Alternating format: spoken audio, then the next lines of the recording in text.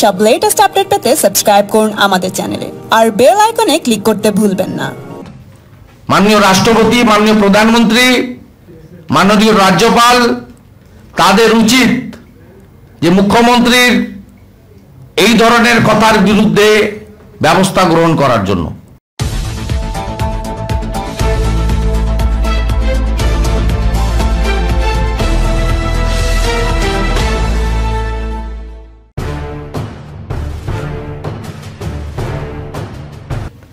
আপনারা দেখেছেন বিএসএফ এবং সিএপিএফ আর্মিও টার্গেট হয়েছে এর আগে।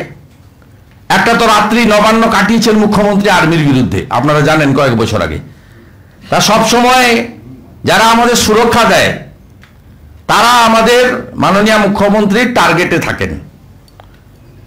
কালকে বিএসএফ সম্পর্কে যে কথাগুলো উনি বলেছেন এটা আপনারা দয়া করে শুনুন।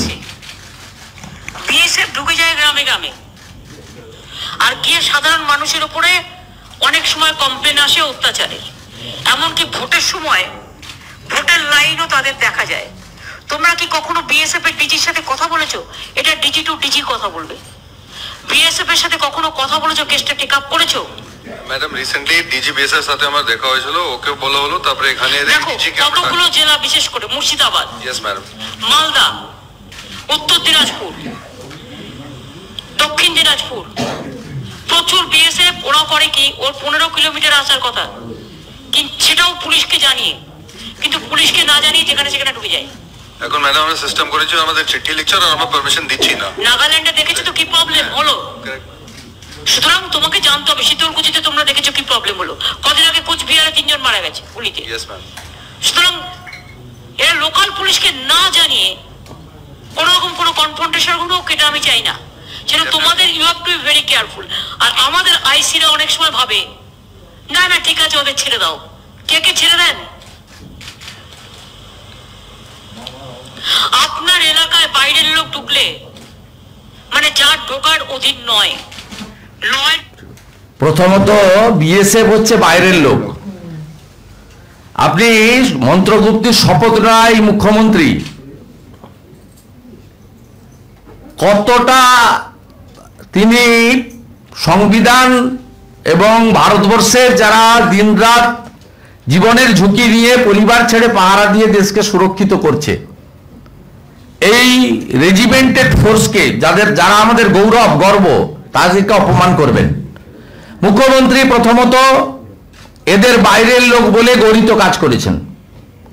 মুখ্যমন্ত্রী দ্বিতীয়ত পনেরো কিলোমিটারের যে কথা বলেছেন, এটাও কেন্দ্রীয় সরকারের স্বরাষ্ট্র দপ্তরের যে সার্কুলার, সেই সার্কুলারকে চ্যালেঞ্জ করে তিনি বলেছেন যেটা তিনি করতে পারেন না। কারণ ইতিমধ্যে পঞ্চাশ কিলোমিটার রেডিয়াস এলাকা বিএসএফ এর হয়ে গেছে। পঞ্চাশ কিলোমিটার এলাকা বিএসএফ, তল্লাশি, গ্রেপ্তার এবং বেআইনি জিনিসপত্র বাজেয়াপ্ত করার কাজ তারা শুরু করেছে। বহু জায়গায় চৌকি তৈরি হয়েছে। রাজ্যের মুখ্যমন্ত্রী কীভাবে পুলিশ এবং বিএসএফ এর কনফ্রন্টেশন লাগিয়ে দিতে চাইছেন?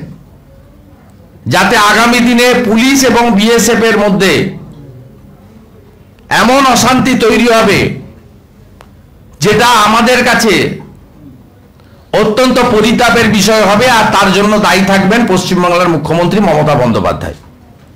আর তিনি বিএসএফকে অপদস্থ করে বিএসএফকে কাজ করতে না দিয়ে কাদের হাত শক্তিশালী করতে চাইছেন?